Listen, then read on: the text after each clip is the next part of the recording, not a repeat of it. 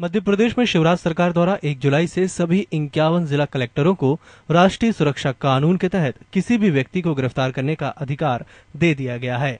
इसके विरोध में आम आदमी पार्टी के प्रदेश संयोजक आलोक अग्रवाल गुरुवार को राजधानी भोपाल स्थित बोर्ड ऑफ़िस चौराहे पर 24 घंटे के उपवास पर बैठे हैं।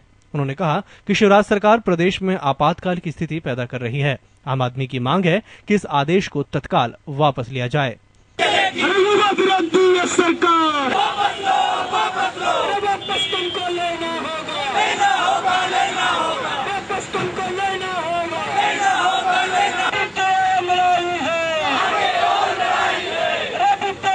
देखिए शिवराज सिंह चौहान ने एक जुलाई से राष्ट्रीय सुरक्षा कानून के तहत इक्यावन ज़िले के सभी कलेक्टरों को ये अधिकार दे दिए गए हैं कि वो किसी भी व्यक्ति को बिना किसी आदेश के बिना कोई सूचना के न सिर्फ़ गिरफ़्तार कर सकते हैं, वो प्रदेश के अलावा पूरे देश में भी उसको कहीं रख सकते हैं। ये लोकतंत्र की हत्या है। आज किसान दर्द से करा रहा है। आज व्यापारी शंकाओं की आवाज़ उठा रहा है। इन सारी आवाज़ को कुचलने के लिए ये रासुका लगाई है। आम आदमी पार्टी का मानना है कि यह अघोषित आपातकाल लगा दिया गया है। इसलिए हम 24 घंटे का उपवास करके ये मांग कर रहे हैं कि तत्काल ये रासुका हटाई जाए। अगर नहीं हटाई जाती है तो ना सिर्फ़ हम लोग एक जुलाई से अनिश्चितकालीन संघर्ष करेंगे, हम कानूनी कार्रवाई भी करेंगे।